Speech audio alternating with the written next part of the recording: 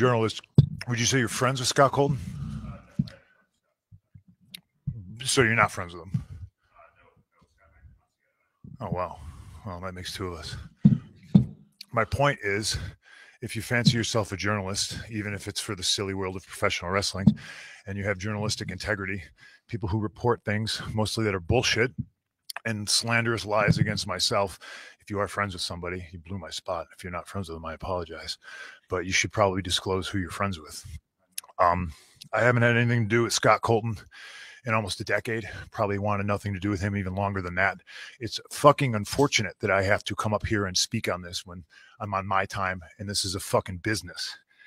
Uh, why I'm a grown ass adult man and I decide not to be friends with somebody is nobody else's fucking business. But my friends, if I fall backwards, will catch me. Scott Colón, I felt never would have. My problem was I wanted to bring a guy with me to the top that did not want to see me at the top. Okay. You call it jealousy, you call it envy, whatever the fuck it is. My relationship with Scott Colón ended long before I paid all of his bills. I have every receipt. I have every invoice. I have every email. I have the email where he says, and I quote, I agree to go our separate ways. I will get my own lawyer and you do not have to pay anymore. That's an email that I have. The only reason the public did not see is because when I finally had to countersue him through discovery, we discovered he shared a bank account with his mother. That's a fact. And as soon as we discovered that fact and we subpoenaed old Marcia, he sent the email, Oh, can we please drop all this? Now, it's 2022. I haven't been friends with this guy since at least 2014, late 2013. And the fact that I have to sit up here because we have irresponsible people who call themselves EVPs and couldn't fucking manage a target and they spread lies and bullshit and and put into a media that I got somebody fired when I have fuck all to do with him want nothing to do with him, do not care where he works, where he doesn't work, where he eats, where he sleeps. And the fact that I have to get up here and do this in 2022 is fucking embarrassing. And if y'all are at fault, fuck you. If you're not, I apologize.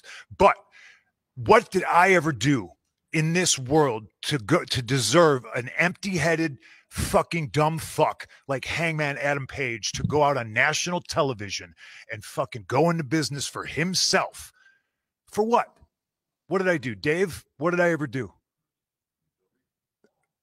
didn't do a goddamn thing. What's your name, sir? Fuck the Pittsburgh Penguins. What are you doing, man? What are you doing? I made it really clear in Forbes, and I just want to make it clear again. Nick, it's when- not his position to make it very fucking clear. There's people who call themselves EVPs that should have fucking known better. This shit was none of their business. I understand sticking up for your fucking friends. I fucking get it. I stuck up for that guy more than anybody. Okay. I paid his bills until I didn't, and it was my decision not to. Yeah, but I shouldn't have no commented when Nick first said it. It's my I, fault, and if I, I hadn't, it's my that. fault. It's my. I appreciate. Fault. I should have just I'm, taken a head on because you never but said I'm trying anything. to run a fucking business, and when somebody who hasn't done a damn thing in this business jeopardizes the first million dollar house that this company has ever drawn off of my back and goes on national television and does that, it's a disgrace to this industry. It's a disgrace to this company. Now, we're far beyond apologies right? I gave him a fucking chance. It did not get handled, and you saw what I had to do, which was very regrettable, lowering myself to his fucking level. But that's where we're at right now. And I will still walk up and down this hallway and say, if you have a fucking problem with me, take it up with me. Let's fucking go. What's your question, Nick? Uh, first of all, you're always very nice to me. Thank you. Um,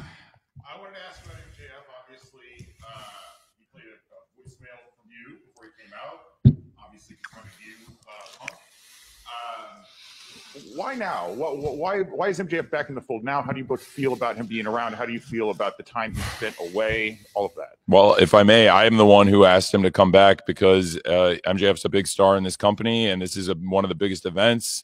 A year ago, CM Punk debuted here, and I thought it was right for the fans. And like I said, for the fans. I thought the best thing that we could do as a company was bring MJF back. Because he wants me to work with pricks constantly. That's that's what it is. nevertheless, uh, it- two of the top wrestlers in the world, MJF and CM Punk, could be Oh. a big match down the line. Sorry to keep bringing this fucking up, but I've never spoken his word, and I don't know how long. So I'm a little fucking pissed off about it. When it came down that he was going to sue me, I asked to talk to him. He refused. I asked for mediation. It was denied. I offered him money. He said it was not enough. He went ahead with the lawsuit and sued. It's his fucking funeral. I don't care. He shares a bank account with his mother that tells you all you need to know about what kind of character that is. I appreciate it, Nick. I'm sorry if I'm a little fucking snippy. I'm hurt and I'm old and I'm fucking tired and I work with fucking children. I regret not answering your question the first time you asked it. Yeah, but I should have just taken it head on like I did with Blake and Forbes recently. We're all learning here, Tony. It's okay. thanks, thanks. This is from Mindy's Bakery, by the way. It's a great place in Chicago. If you like pastries and baked goods, I suggest you go there. They're closed on Mondays and Tuesdays, though. Uh, so Sorry about asked- all that, Mandy. All right, thanks. So I've asked questions of presidential candidates in my old life. I don't think I've ever been as nervous as I am right now, but I'll, I'll direct this one to Tony. Um, you saw the reaction MJF got when he came back out at the end of the night. Do you have any worries that um, he was cheered in Chicago while CM Punk, hometown guys in the ring? Do you have any worries about um, MJF kind of, he got pure boos before. He was a, one of the last pure heels left in wrestling that didn't try to get cheered. And now he's sort of set up as this anti-authority figure. Uh, Do you, do you worry about what that means for the psychology going forward, especially if he's going to take on Punk? I think the fans want to see great wrestling matches. MJF's the top wrestler. CM Punk's the world champion, the top wrestler in the world. And I think having the top contenders, whoever came out of this match tonight, MJF sets up as a great challenger. And now CM Punk uh, is the world champion. MJF being back, a lot of fans were excited to see it. But anytime somebody makes a comeback in the world of wrestling, generally you get a really big reaction. Am I worried about it? No, not really. Like we have one of the most charismatic, popular professional wrestlers in the world right here. And frankly, the fans can react however they want. That's what's great about AEW and pro wrestling. We're not trying to tell people what to think.